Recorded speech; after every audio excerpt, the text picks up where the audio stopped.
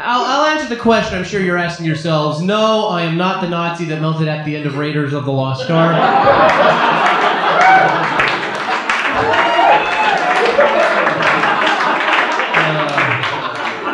I wish that joke didn't work. I really, I really. Like people, leave, yeah, people like get it. They go, "Oh, what's it? shit?" You're like, "Oh." with the hand, the guy, yeah. I didn't even think of it. I got heckled at a show. A guy's like, "Hey, you look like the guy from Raiders." I was like, "Harrison Ford." He's like, "No, no sorry." Uh, it's, uh, it's,